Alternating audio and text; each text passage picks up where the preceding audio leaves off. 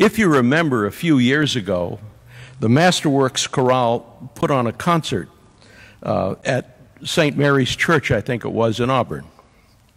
Now, Katie and I didn't know anything about it, but that morning, Sandy Nichols asked us after church, You do want to go to the concert in Auburn at 4 p.m. this afternoon, don't you? Sandy is a persuasive woman. We said, Yeah. She gifted us with two tickets to Mendelssohn, Mozart, and more, remember? And we headed off to Auburn on that clear, cold afternoon, and we were rewarded with an extraordinary experience. In that beautiful church, much like our own, pictureless but beautiful stained glass windows, beautifully colored, beautiful patterns, we experienced something really extraordinary. Extraordinary not just in a musical sense, but in a worship sense. And that's what I want to talk about with you today. The powerful, even mighty role music has in our worship experience. By way of background, here's a quote from Jesus. The Gospel of Luke tells us that Jesus was asked which was the most important of all the Jewish laws. And Jesus said, in his own words and language, Ve'ohavta et Adonai, uvchol levavcha, uvchol nefeshcha, uvchol meodecha which means in Skinny Atlas language, and you shall love the Lord your God with all your heart, and with all your soul, and with all your might. Now, most translations have Jesus adding the words to Deuteronomy 6 and with all your mind. That may, may be because the word for mind and the word for soul can be the same in Hebrew, nephesh. But the Hebrew Jesus was quoting in Deuteronomy 6 was clear.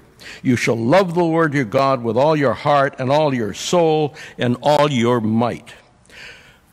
Might is strength, muscle, sinew, power.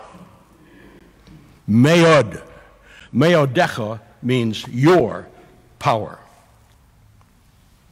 To love God with all your heart, lev, means with all our loving affection. To love God with all our soul, nephesh, means to love God through and through, in our inmost self, without reservation. And to love God with all our might, all our power Meod means put everything you have into it. There's a physicality, a bodiness to meod. Now, meod can take many forms. It's a connection of intimacy and intensity, a connection of body and spirit. It's sort of being in the zone. Champion athletes play meod. Great musicians perform meod.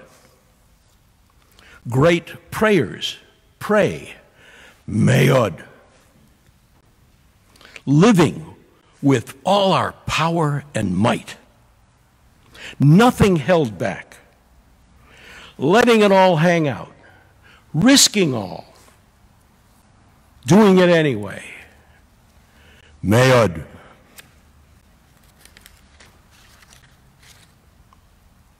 Music can be an entry to Meod. In every religion I know of, music is a key part of worship.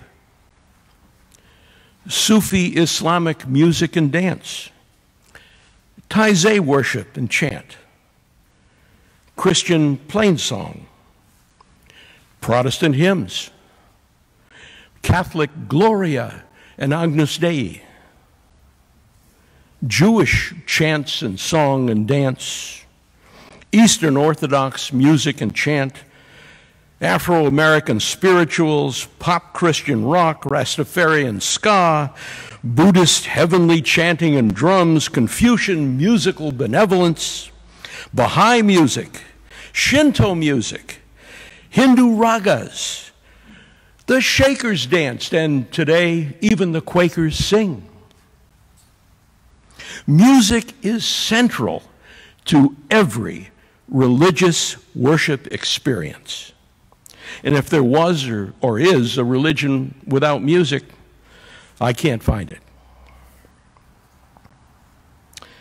St. Paul in our reading today talks about living as a gift to others and himself, living as an action. Life in Christ is a powerful action. Meod. When I was in first grade, back in medieval times, we were seated alphabetically. With the last name Weiss, of course, I was in the last row. Not knowing I needed glasses, I thought the world was a blurry place. The blackboard was something I heard being written on, but I couldn't see it.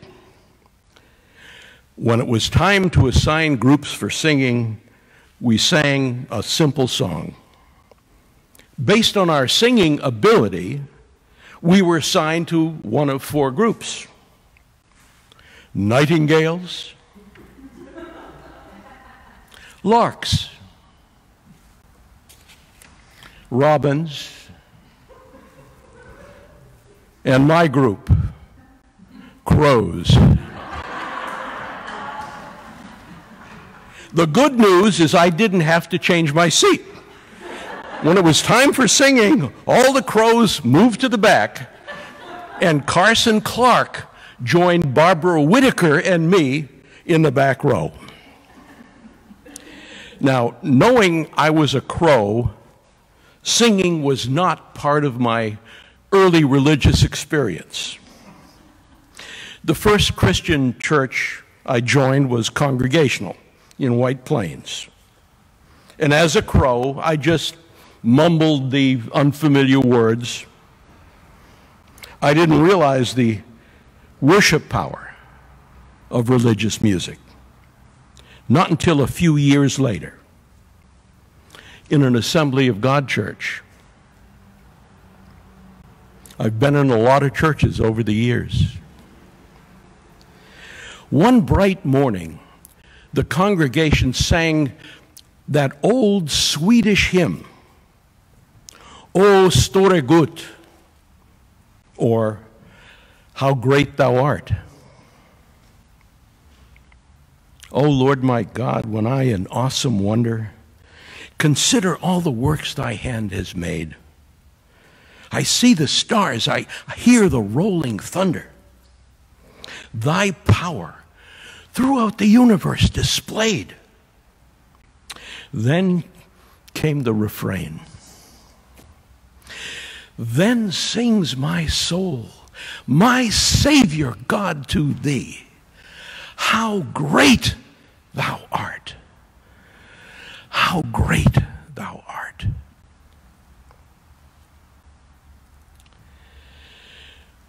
When we sang that refrain, something happened.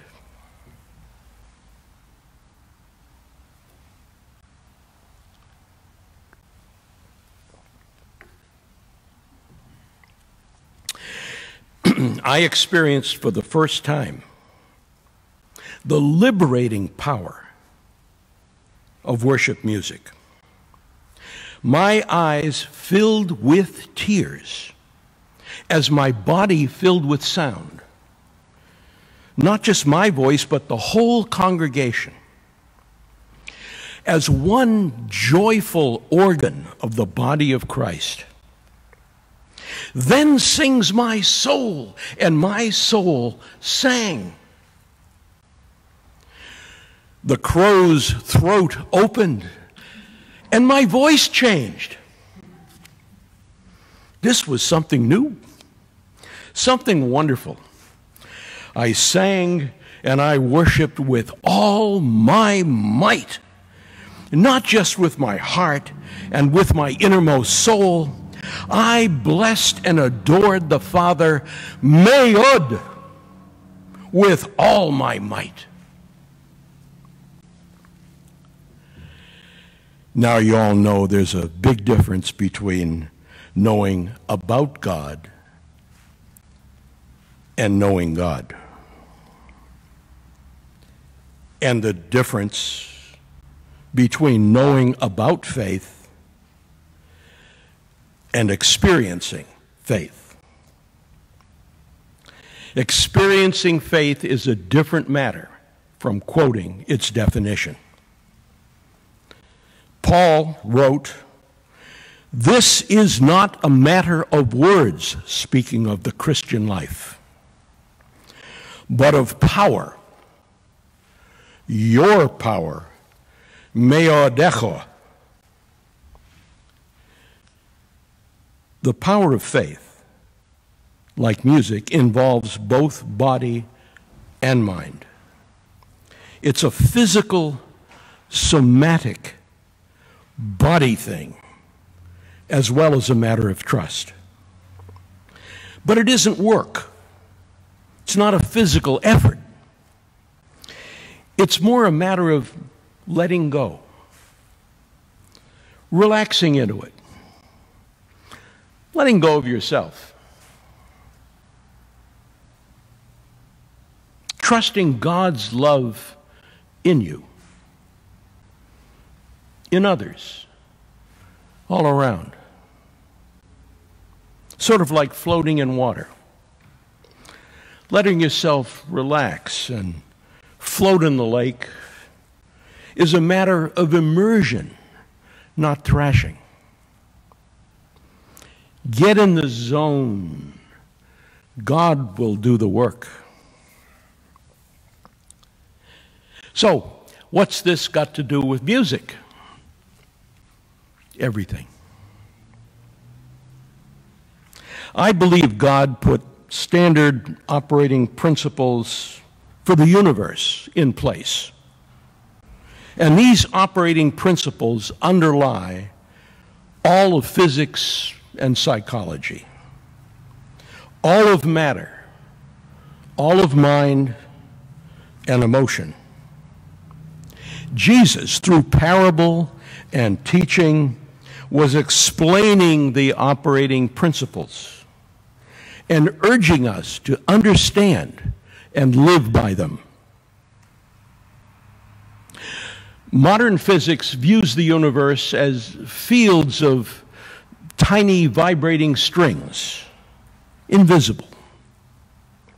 Think of angel harps or cherub violins.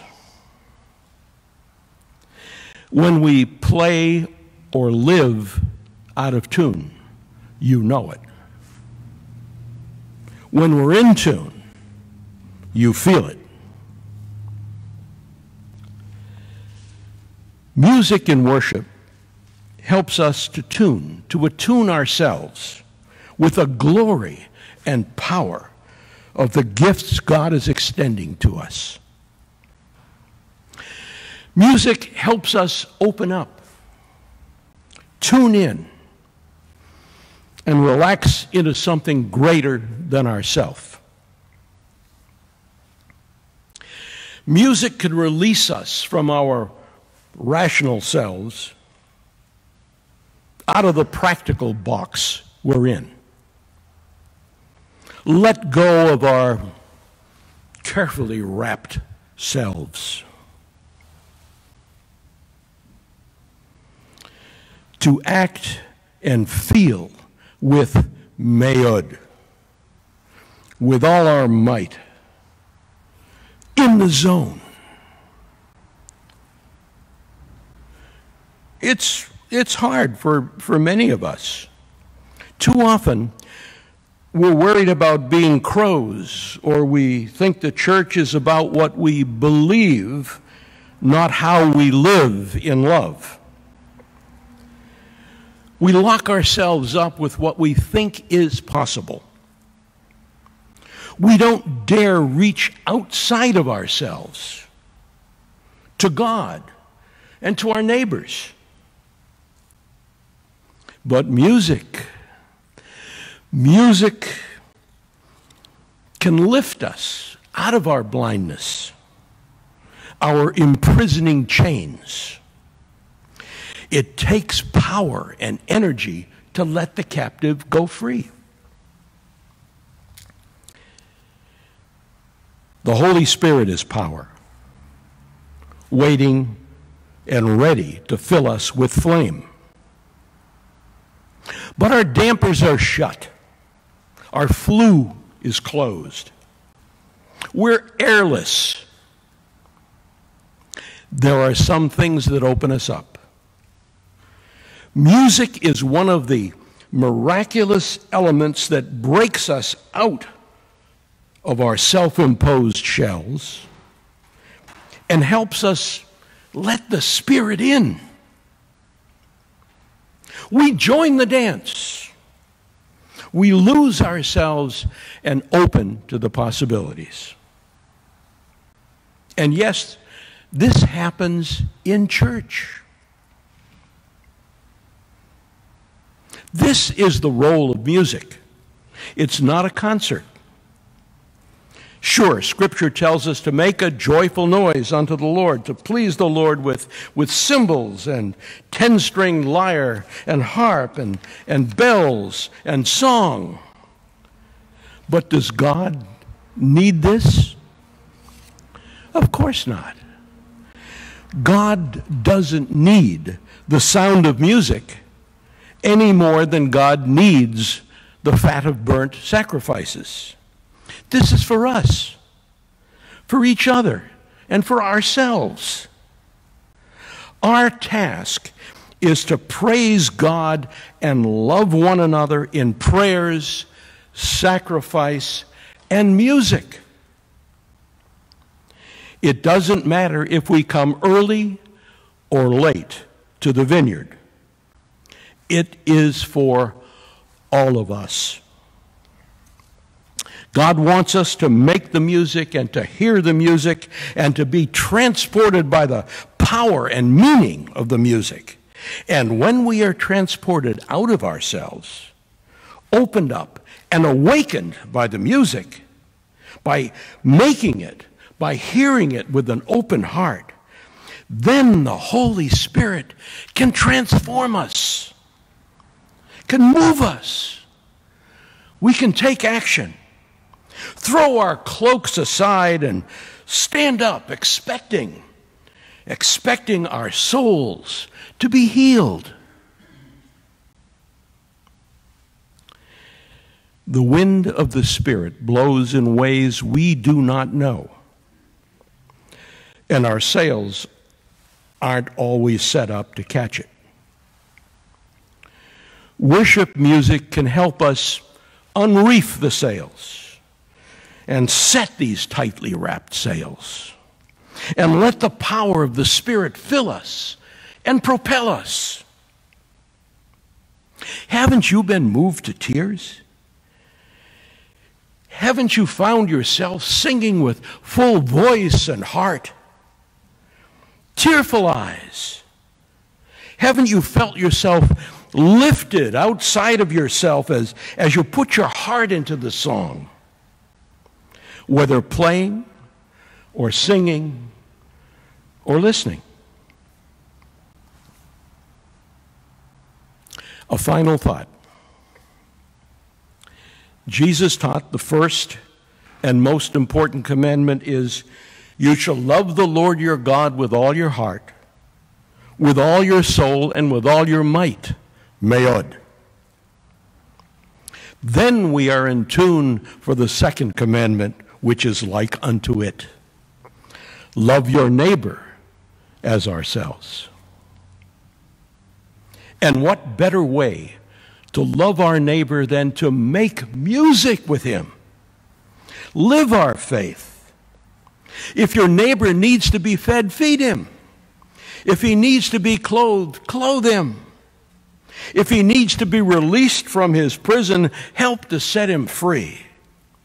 And then, and then, make the music of life with him, Me'ud, and let the Spirit blow us away.